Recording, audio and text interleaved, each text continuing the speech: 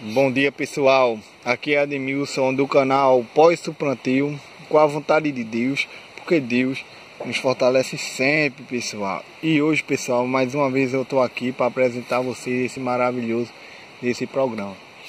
Para uns que estão assistindo o jogo da Copa, eu estou aqui trabalhando.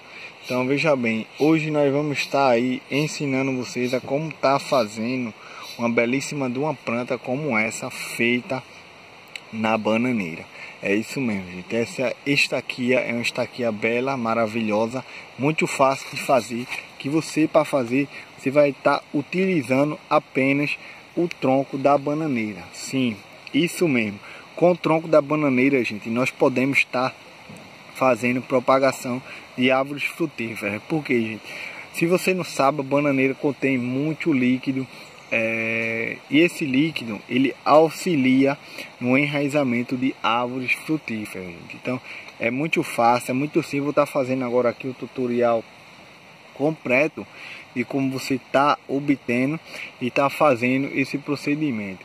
A bananeira que você vai estar utilizando, gente, pode ser qualquer bananeira, pode ser até bananeira que já foi cortada é, há um tempo antes. Só não pode ser feita com bananeira podre podre não dá, porque senão estaca apodrece.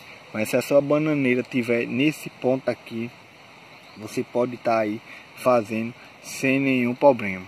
É, o que é que acontece, gente? Quando nós conseguimos enraizar essa planta, é, as raízes vão ficar no miolo, gente, embaixo. O miolo, ele se enraiza e fica o miolo. Aí o que é que acontece? Muitas pessoas estavam perguntando no outro vídeo, mas Poisson, depois que nós conseguimos enraizar, que tiver já nesse estágio de, de frutificação, quando eu botei esse galho, gente, é, ele, não, ele, ele não tinha essas folhas. Veja bem, era só esse tronco aqui e esse outro aqui. Eu tinha deixado a metade de uma folha nessa e a metade de outra folha nessa. Então veja bem, as folhas caíram, como você está vendo, caiu e nasceu essas novas aqui, ó, que foi esse galho aqui que é novo e esse outro aqui que nasceu. Então veja bem, pegou. Ah, Poisson, como é que você sabe que está enraizada embaixo? Gente, essa planta aqui, ela está com aproximadamente quase dois meses de vida. Ela não está ainda totalmente enraizada.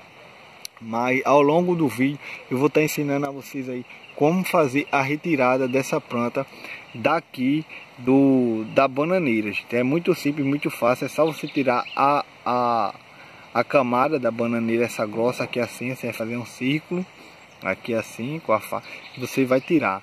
O miolo de dentro você não vai poder mexer porque se você mexer você vai danificar a planta e as raízes é, vão ser cortadas e não vai ser legal. E sua planta vai morrer. Então é muito legal muito fácil esse enraizamento. Aí tem pessoas que perguntaram mas Poisson eu posso estar tá, é, botando é, enterrando ela assim do jeito que ela tá, gente. Gente, você pode até fazer esse procedimento. Eu não fiz ainda, eu não sei nem o que te falar. É, mas eu acho assim, para facilitar a raiz dela se prolongar, é melhor você tirar. Mas se você quiser, tiver com pena, se quiser afundar isso aqui dentro da terra, você pode afundar, que eu acho que também isso aqui vai apodrecer e pode ser bem legal também o desenvolvimento. Então veja bem, nós estamos aqui com essa planta. Eu estou com outra aqui, gente, que nós conseguimos enraizar. Ela está enraizada aqui, ó. Foi feito esse procedimento há alguns dias, está enraizada. E foi feito nesse mesmo procedimento. Agora sendo que essa daqui foi feito na terra, gente, não foi feito é, na bananeira. Então veja bem, existem algumas cautelas que exigem ser respeitadas para você é, ter o enraizamento. Ah, pois, é, tem como fazer também com a terra, só na terra? Sim, tem sim. Que foi essa planta que nós fizemos. Mas sendo que o tutorial que eu quero passar para vocês é feito na bananeira, que também é muito eficaz e melhor, gente. E é mais rápido. Eu acho que é mais rápido, tá entendendo? Então veja bem, eu estou com essa planta aqui, é bem legal, por quê? Porque ela já produz frutos em pequeno tempo de vida, gente. Por quê? Porque é uma árvore é, adulta. Ah, pois como é que é uma árvore adulta que ela é pequena. Por que é uma árvore adulta, gente? Porque ela é uma árvore clonada. Ela vem de uma planta mãe que já é uma árvore adulta. Então é um clone. Ela vem com a mesma genética da planta que foi tirada. E ela produz por quê? Porque todas as estaquias que a gente faz aqui no canal, nós pegamos árvores de frutíferas que já produzem. Aí você pode vir perguntar, mas Poisson, é... eu tenho uma árvore aqui da goiabeira, mas ela não produz frutos. Eu posso fazer esse procedimento? Pode sim, gente. A diferença é que ela não vai produzir frutos. A diferença é só essa, em pequeno tempo. Para ela produzir frutos em pequeno tempo, você tem que fazer esse procedimento com um galho de uma árvore que já produza frutos. Então é isso aí, gente. Espero que eu já tenha explicado, expliquei até demais.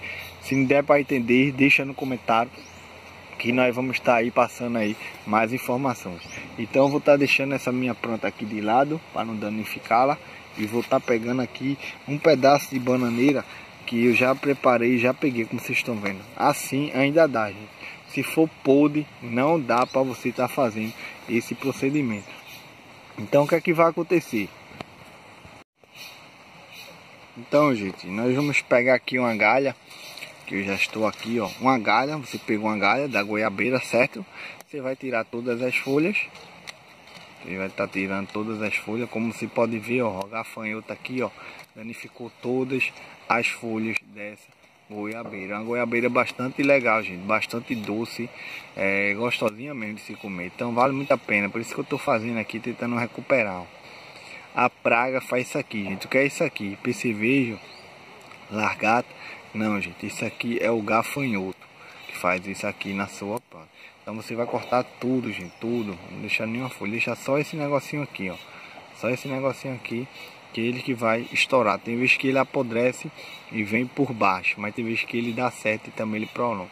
Então veja bem, outro ponto importante que a gente tem que ensinar a vocês, gente, é isso aqui, ó, gente. É, vocês estão vendo o galho foi arrancado na emenda da planta. Então nós tiramos tipo uma muda na emenda da planta, tá vendo? Isso é muito importante, gente, porque aqui, gente, é mais fácil de vir o enraizamento. Se eu for estar tá mostrando aqui a planta que foi enraizada, ó, foi feita na, na emenda da planta, ó, tá vendo? Ó, foi feita na emenda da planta, igual essa aqui que nós estamos mostrando a vocês. Então veja bem, ó. Então o que é que vai acontecer, gente? Ah, precisa botar em hormônio? Não, não precisa, gente, botar em nenhum hormônio enraizador, nada.